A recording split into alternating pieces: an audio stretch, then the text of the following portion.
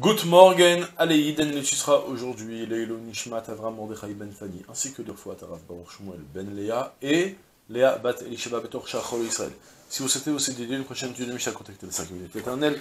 Nous étudions Masachet Moed Katan, Perek Aleph Mishnah Yud, Osin Ma'ake la Gag, Velamir Peset, Maase Hediot, Avalo Maase Uman.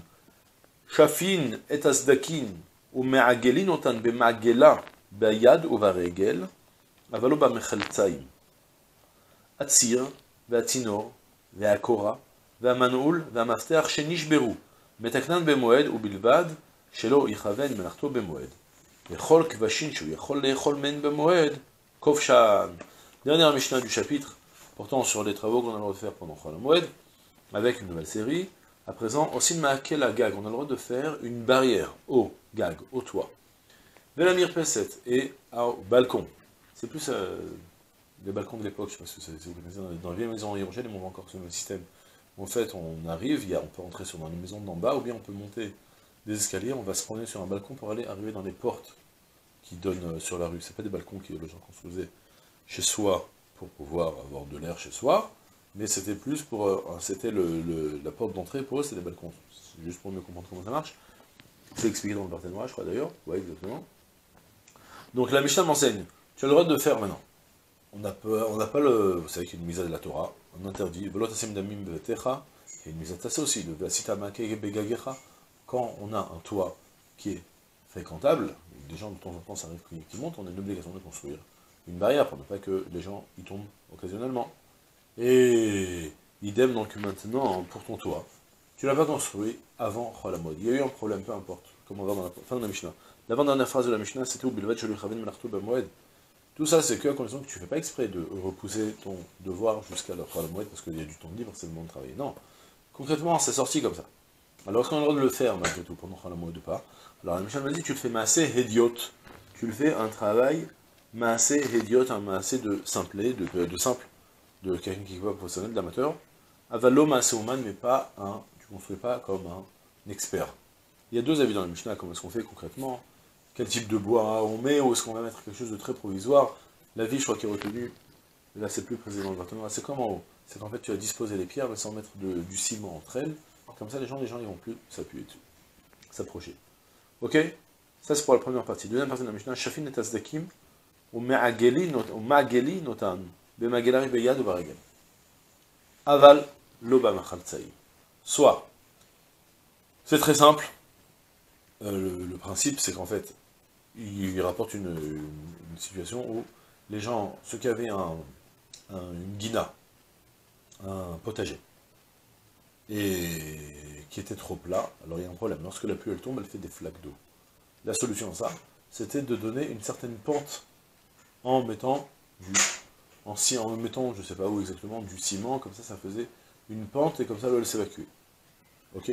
Pourquoi là, euh, on a besoin de faire une, petite coulée de béton, en fait. Imaginez une cour, on va faire une coulée de béton, quelque chose comme ça, qui soit en pente, comme ça, ça va s'évacuer. Maintenant, pour que ça s'évacue bien, une fois que tu as fini de, donc de faire ta coulée de béton, ou de, revêtement, quoi, que tu as mis, eh il faut maintenant faire des, petits sillons dans le, dans, la coulée, dans, le béton, pour que maintenant, lorsqu'elle quand, elle va arriver, elle va directement se mettre à couler en empruntant ces petits, euh, ces petits, ces petits, je sais petits, passages que tu lui as préparés avec, en, sillon comme ça, d'accord? Alors maintenant, la Mishnah m'enseigne que, si toutefois, ces petits sillons se sont trop euh, effacés, tu as le droit d'être chaf, tu as le droit même de les, de les refaire un petit peu, de les réapprofondir, et même aussi en utilisant même un certain objet, un certain outil de professionnel, la Ma'agela, d'accord? C'est le... concrètement, c'est à l'époque, lorsqu'il voulait, par exemple cimenter une grande surface, alors il mettait du ciment, et, puis à bout du marché, enfin je sais pas ce qu'il mettait, puis après il prenait un grand bois qu'il fallait faire rouler, qui était assez lourd, et qu'il fallait comme ça pousser, comme ça ça planissait directement tout. Alors la Michel me dit, ben, tu as le droit d'utiliser ça pendant euh, Moed, si toutefois tu dois maintenant euh, refaire ta cour, comme on a dit, pour que, le l'eau puisse s'écouler. Mais tu le fais juste que tu le fais pas en l'attrapant avec toute ta force comme il faut, mais juste bayad de régal avec un peu avec ta main, avec tes pieds. Avalo mais tu ne pourras, pas le faire avec le Machal. Je sais pas exactement ce que c'est, c'est-à-dire, c'est pas, oui, c'est-à-dire, je te dis que tu le fais avec la, tu prends ce bois pour le faire, mais tu ne pourras pas faire avec, vous savez, les, comme ceux qui font du ciment, ils ont une sorte de planche beaucoup plus forte maintenant pour bien aplatir, c'est comme dans tout, il y a des gros outils pour faire les gros traits du travail, puis après des outils beaucoup plus précis pour faire beaucoup plus de travail. Alors la Michel nous dit, tu sais quoi, tu prends la poutre, tu as le droit de la passer, c'est bon, ça je te permets. Mais après, ne commence pas maintenant à faire avec l'outil spécial avec lequel il lisse particulièrement bien les murs et tout ça. Là, c'est trop de travail, ça vient du massé man, ça vient du, travail professionnel et je te permets pas pendant Moed. Ensuite, maintenant on va parler d'une porte cassée pendant Moed. Atir. Atir, c'est le gond, d'accord C'est l'axe central sur lequel la porte tourne. La tinor, c'est le tuyau, en fait c'est le petit trou où le gond se plante. La kora, et la kora c'est la poutre qui est au-dessus de la porte que la porte se ferme. La manoul et la clé. Va mafteach, et aussi la clé. La c'est la serrure, la mafteach c'est la clé. Chez en fait on parle d'une situation, en fait, as dans ta porte, tu as eu un vrai problème soit la porte qui s'est cassée, soit le tir qui s'est cassé, le trou qui s'est cassé. Alors quoi, qu'est-ce que tu fais?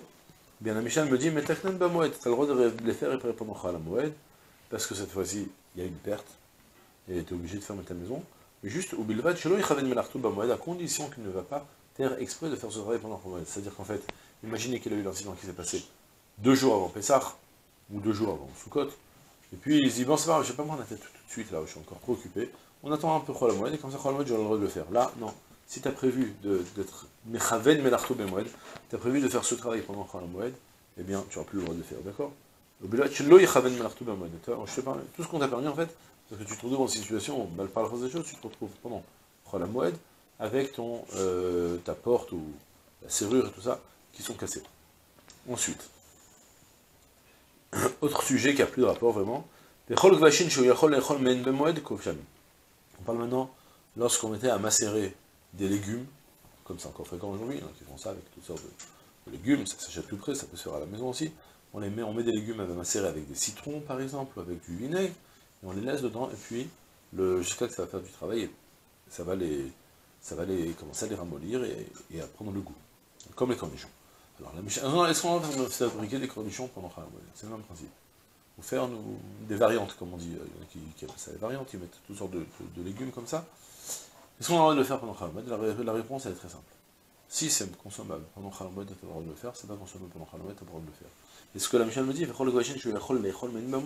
tous les gvachim, une fois qu'ils vont commencer à les faire, ils seront ensuite mangeables pendant Khalamoued, alors tu as le droit de les faire, Kovshan, tu pourras les faire pendant Khalamoued, et puis s'il fait après, une, une fois que tu avais la permission de le faire, si finalement ça t'est resté pour jusqu'après la fête, tu auras droit de les laisser aussi. Tu auras droit de les, utiliser. À, partir du moment où, lorsque tu les mets à macérer, qu'ils soient, qu que tu prévisible, qu'ils soient consommables pendant mois. Ok? C'est tout pour aujourd'hui, je te journée pleine. Tzlacha, kol ça va.